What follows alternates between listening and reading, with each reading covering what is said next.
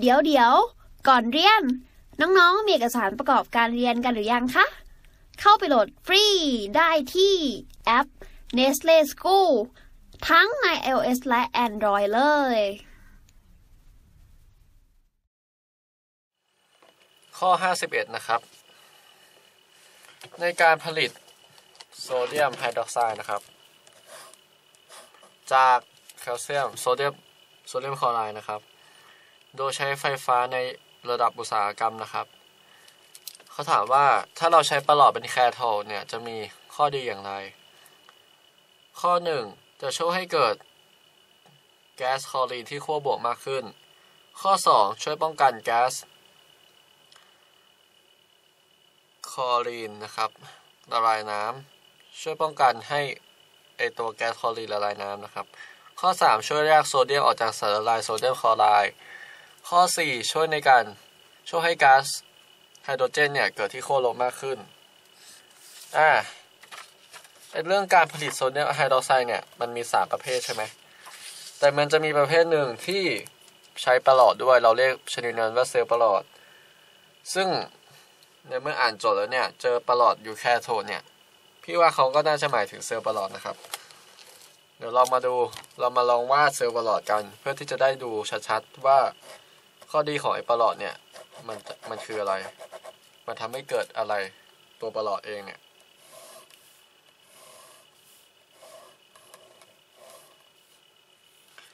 อ่าว่าตามเลยครับ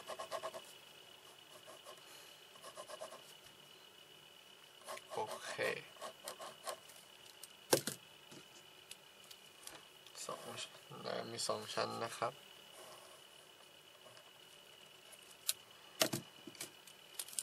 ตรงนี้จะเป็นเซลล์ไฟฟ้า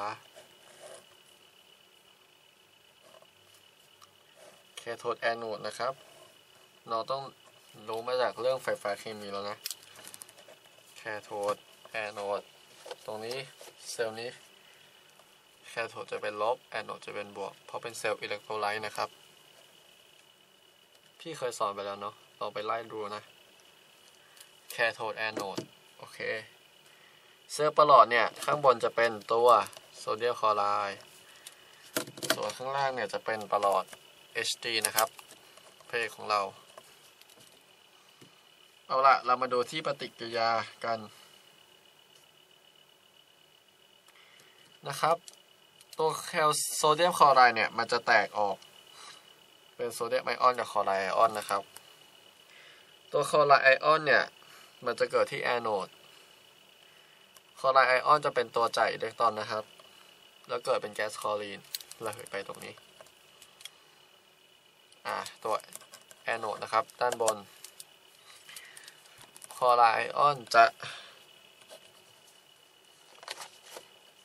จ่ายอิเล็กตรอนและเกิดเป็นแก๊สคลอรีน ส่วนที่แคโทดเนี่ย โซเดียมไอออนนะครับ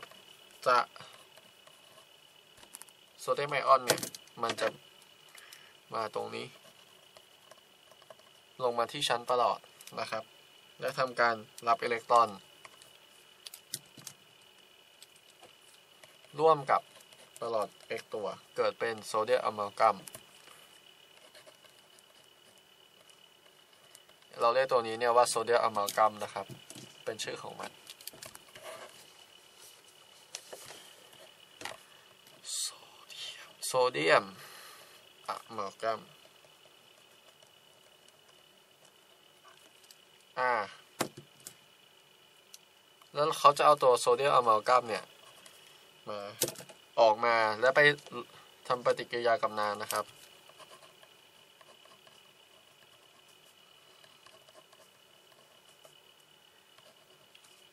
พอทำปฏิกิริยากับน้ำแล้วเนี่ย เราจะได้โซเดียมไฮดรอกไซด์และ แล้วก็แก๊สไฮโดรเจนระเหยออกไป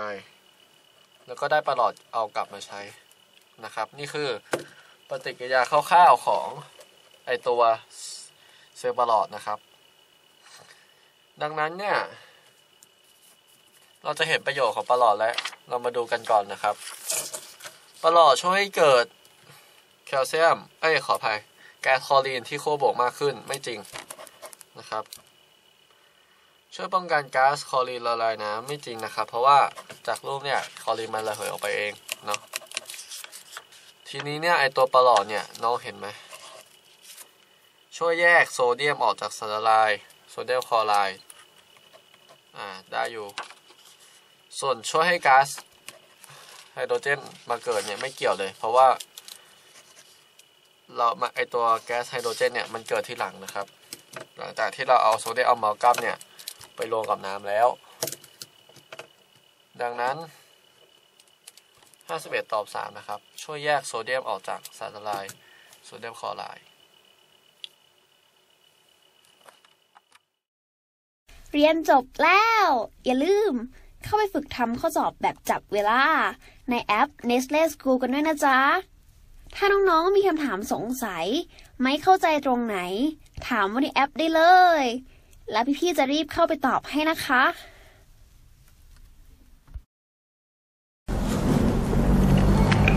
ดูความรู้ไป กินไอติมไป ก็เพลินนี้นะอะ